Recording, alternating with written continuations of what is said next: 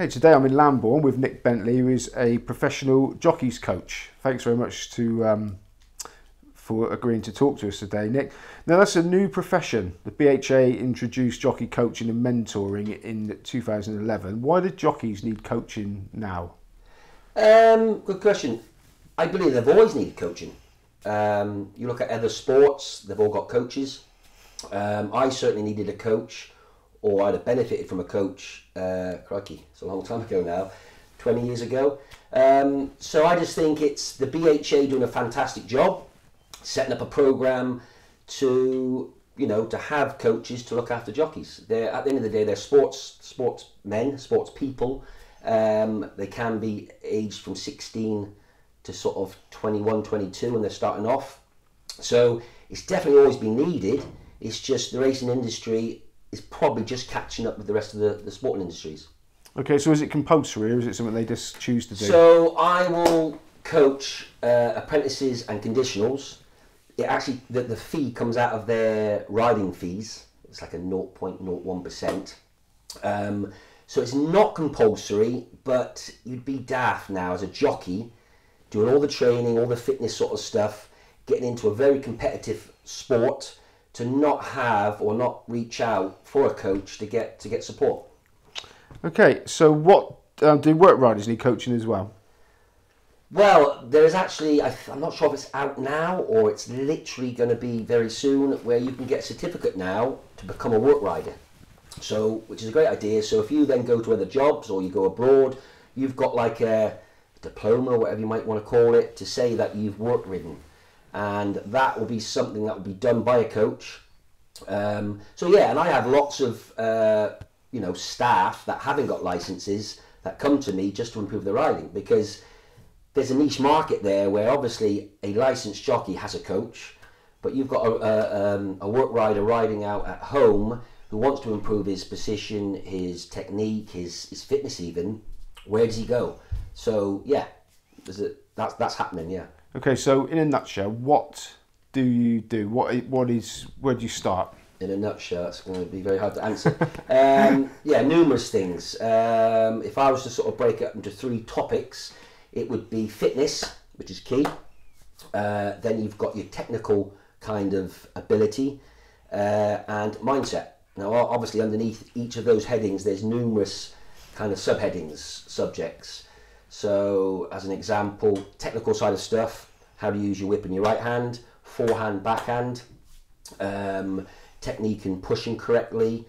The mindset, you've got, you know, just how to think. You know, I'm a great believer in, I mean, that, that's my passion, the mindset. I'm a great believer in, you know, you get the result on how you think. Then you've got fitness, which will come under all sorts of dietary requirements, nutrition. So there's there's many, many. And obviously just being a mentor overall, being a being a dad sometimes. I get some kids that they're 16. They've literally just left home.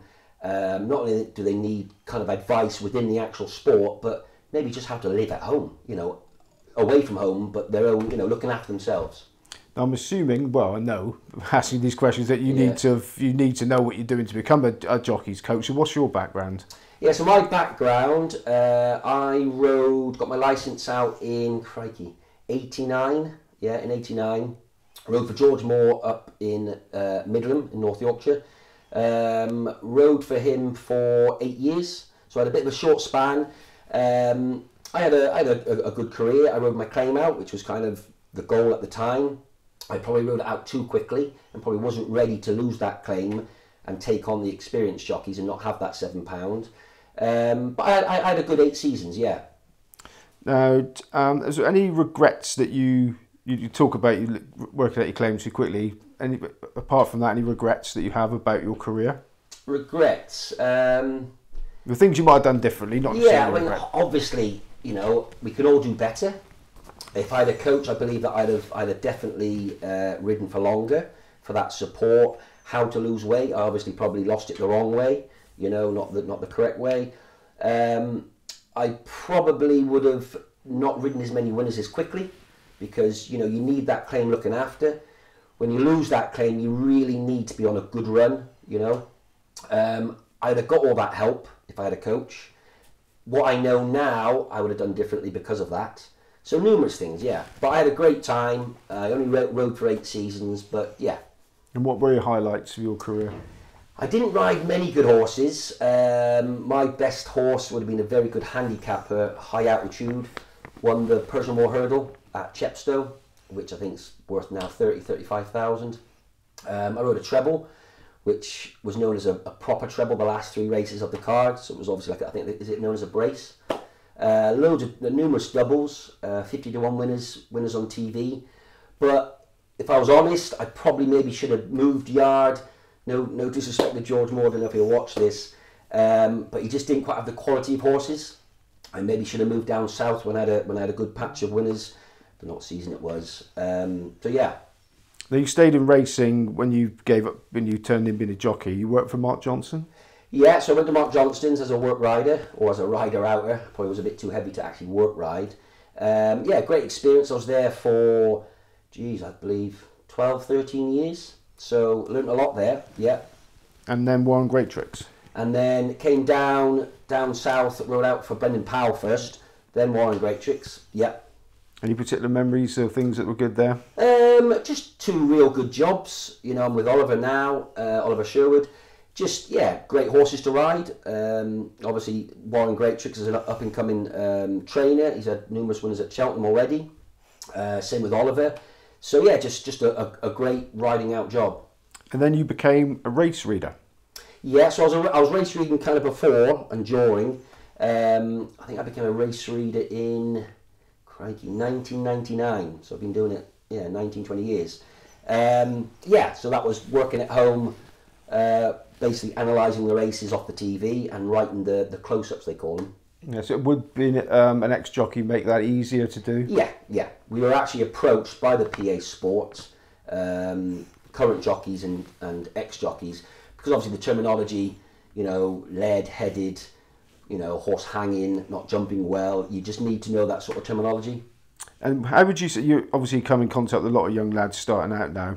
How is the life for a professional jockey, especially a young professional jockey or budding professional jockey, better or worse now than it was 20 years ago when you were doing it, 30 years ago? Yeah, there's probably two sides to that. Um, it's probably, well, it's definitely better. We've got more support now. We've got obviously this coaching program that the BHA are running, which is which is obviously fantastic but it just seems to be a lot more competitive, which is good, but it's just harder for me. For, you know, when I look back to the to the to the jockeys that I coach now to kind of when I was riding.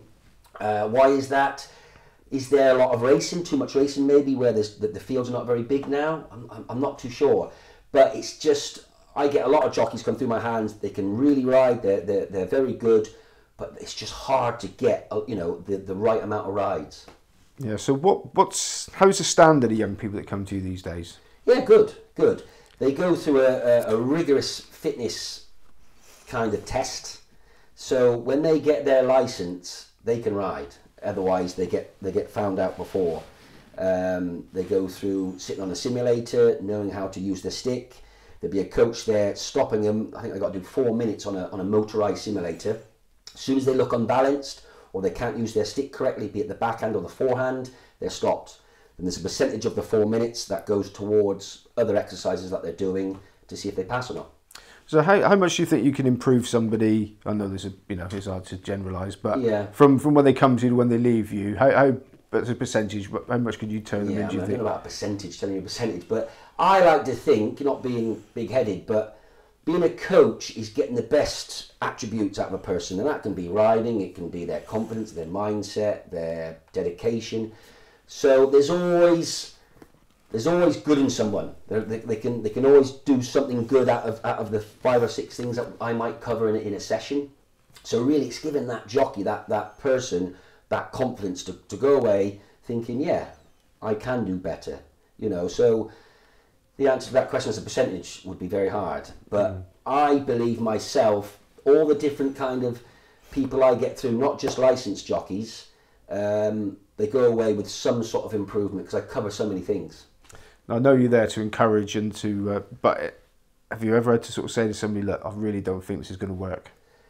I'll be very honest with you, not yet. And I, and I would like to think that would never happen because going back on that last question, there's always something good that can be taken out of somebody's abilities, be it be it wrong or right, or good or bad. Now you talked about you know you wrote out your claim. Jockeys receive receive coaching if I'm right until they've ridden out their claim Yeah. with you. Now do you sort of give them advice on how life is going to suddenly get a lot more difficult when they've become a fully fledged professional? Is is that they sort of prepare? Yeah, you, you've, you've got to make them aware of, you know, they need to do the best they can, kind of in the training pro- process, I call it, you know, the claiming process, because once they're up against the professionals and they're not claiming, obviously an owner or a trainer is going to obviously want, you know, champion, obviously jockey AP McCoy when he's riding, who would you rather have, AP McCoy or a guy who's just lost his license and is obviously not as, as experienced as AP McCoy? So you've got to make them aware of that and make them work harder. But I think it's down to the trainer, the agent even, to maybe look after their rides, their winners, and not do what I did, where at the time I thought, great, first goal achieved, is not ride it out too quickly. Because that claim is so valuable if you look after it.